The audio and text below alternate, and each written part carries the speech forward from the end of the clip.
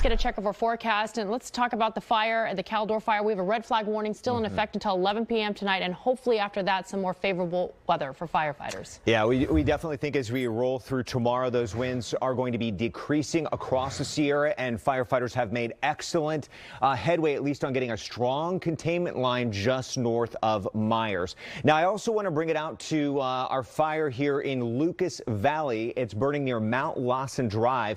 You can see here San Rafael. That's where the fire is located as of last check.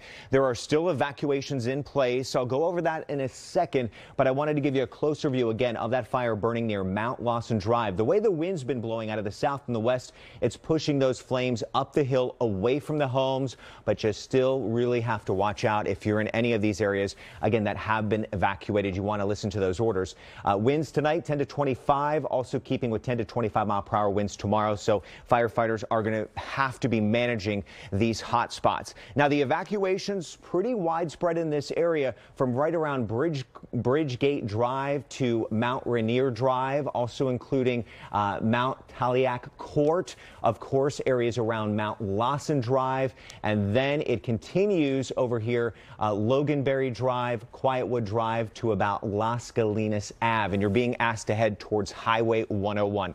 Again, check the alerts on your phone, head to NBCBayArea.com. We also have more information on it there.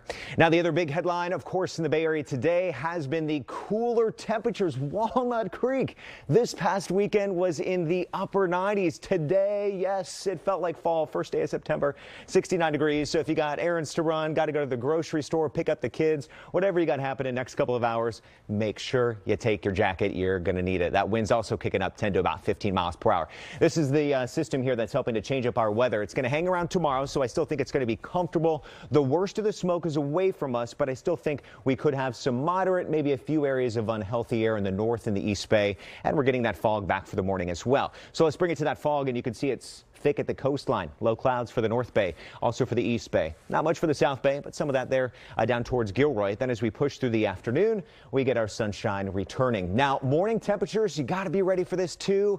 It was probably uh, an abrupt walk out the door this morning. If you didn't have the jacket, we got a repeat performance coming our way tomorrow. Look at this, down into the low 50s over the South Bay Peninsula and the Tri Valley, and more of that chill over the North Bay 50 San Francisco 52 and the East Bay at 53. Now daytime highs tomorrow will warm up a couple of degrees, but we still stay below average. It'll keep us in the low 80s across Concord and Livermore, 77 in San Jose, 75 in Palo Alto. I got you in the 60s right there through San Francisco and Half Moon Bay.